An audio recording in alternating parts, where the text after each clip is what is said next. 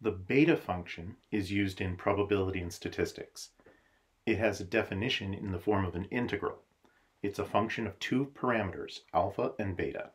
It also is stated to be equal to the gamma function, gamma of alpha, gamma of beta over gamma of alpha plus beta. Gamma of n is n minus 1 factorial when n is an integer.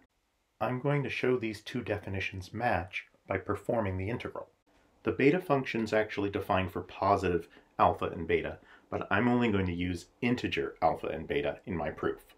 I'm going to write a is alpha minus 1 and b is beta minus 1. I'm going to integrate by parts. This is going to make the power of a go up 1, the power b go down 1. And by doing that repeatedly, I can get the 1 minus b factor to disappear and get an easy integral. So u is 1 minus x to the b, and dv is x to the a dx. When I evaluate uv, I actually get 0 minus 0, so the first part of the expression goes away.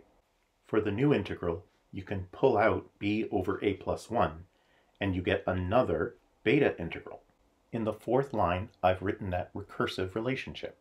Now that we know how that works, we can immediately write the second integration by parts result by replacing b with b minus 1 and a with a plus 1 in the factor pulled out in front. So if we repeat that b times, the numerator becomes b factorial. The denominator is a plus 1 times a plus 2 up to a plus b, which can be written as a plus b factorial over a factorial.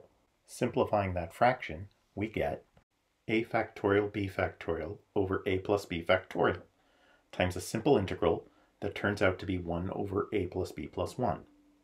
Since alpha is a plus 1, gamma of alpha is gamma of a plus 1, which means it's a factorial. Likewise, gamma of beta is b factorial.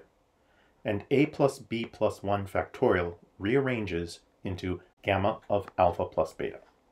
Putting that together, the proof is complete.